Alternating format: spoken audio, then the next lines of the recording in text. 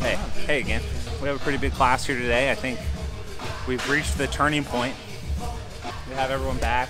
Miha's here training, making his comeback after his life-threatening. Oh, oh, we just missed the off. Do it again. Do it again. We've been doing a lot of promotions lately. Sunshine was promoted. Miha has been a brown belt for seven years. Easily seven years. And Miha is a very special human being because he has the ability to be so disciplined that he can accomplish anything. That's his superpower. And it's something that he taught me, this incredible tool of discipline and just how much you can accomplish if you really focus on something and stop watching TV or playing video games. And all this stuff is just like entertainment. So I'll say that a little bit in my speech when we promote Miha to black belt. I'm very excited. One of these. It's gonna be good. He's gonna be stoked. I hope he doesn't say something cringy. So today, you cannot pull guard. You must go for takedowns. What's that? What if you're injured? You can pull guard. Takedown actually being applied. I just hold it down. Wow. Stop catching me on camera. You don't like it? Stop it. R.I.P. MF Doom.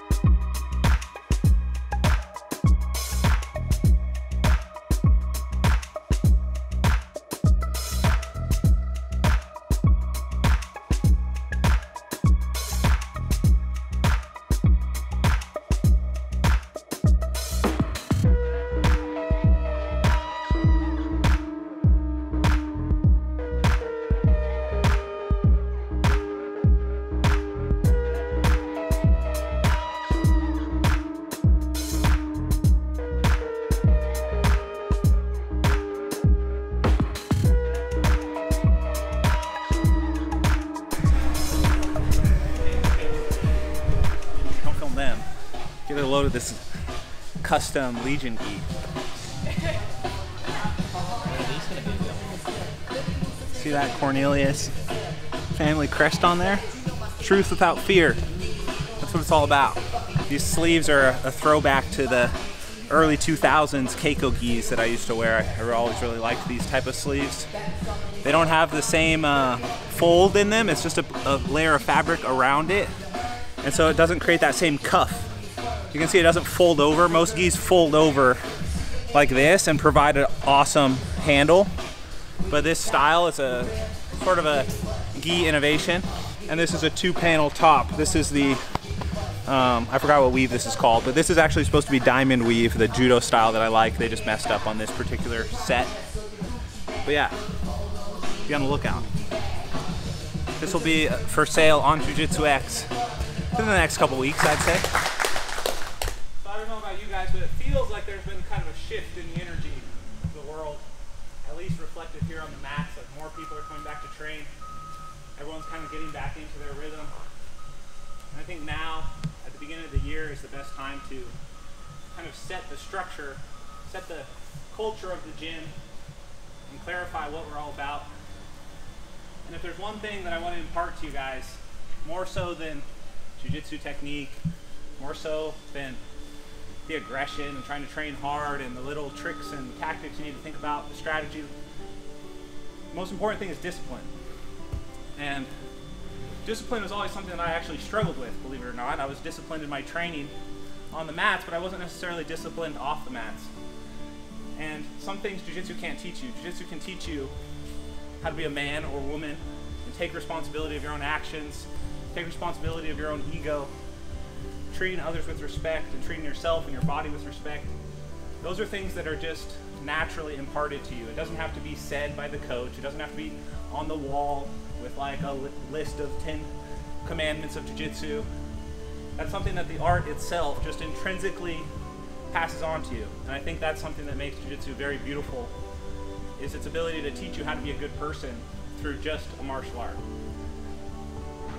However, we as a community of people that are friends, we hang out with each other off the mats and we can learn a lot from each other because each of you has different strengths and weaknesses. And it's our job to try and help help each other with our weaknesses and support each other's strengths. And for me, there was one person that really taught me so much off the mats about discipline. And I learned so much on the mats with him because I saw that same discipline he applied to his life off the mats. I could see he was really trying to apply it into jiu-jitsu as well.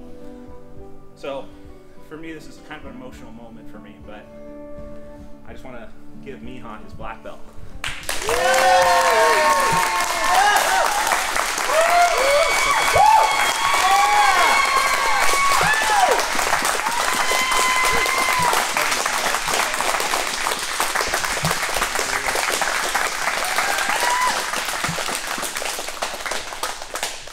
So, Miha and I started working together around 2016. I think I met him. I was just training very hard, but and I was trying to set something up for myself that was off the competition mats with my website and instru- instruction online. Um, and I knew a little bit about marketing and sales from previous experience with other professionals.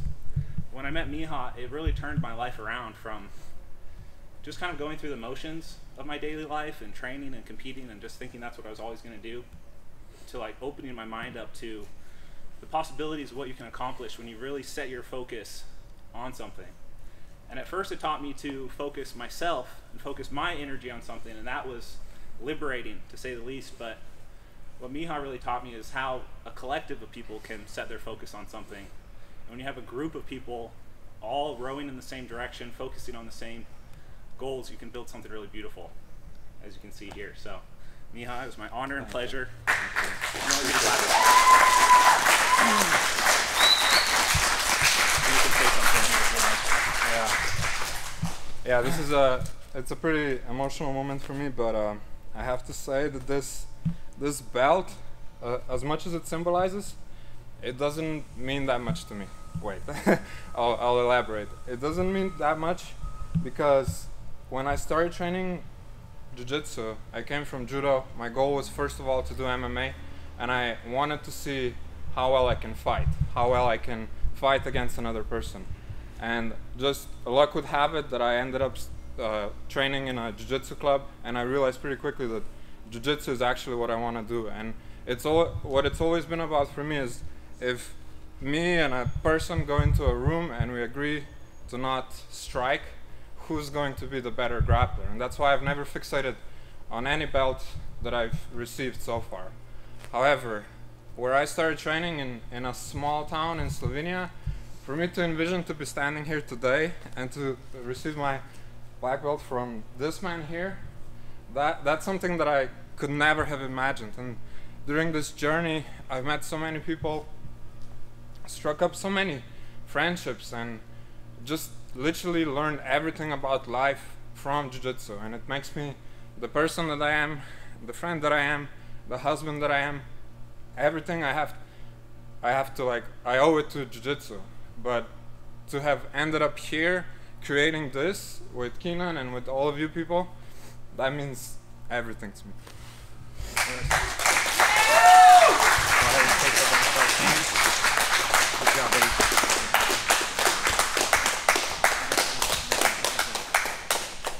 Andres, would you like to say a few words?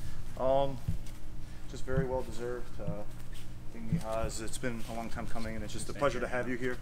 Especially, it makes me look better because you're the scariest role, in my opinion. Out of everybody in this room, you're one of the roles that is the scariest. Even when you're in not the best position, I know just because of your your grit and your ability to fight through adversity that if you get out, I'm in trouble. So even holding good position on Miha is a scary thing. And I think that a lot of times people's personality comes out in their jiu-jitsu. The way people roll is very much how they are. And I mean, you embody that completely just in how you carry yourself in everyday life. So very well deserved. All right, guys. Clap it up one last time for me.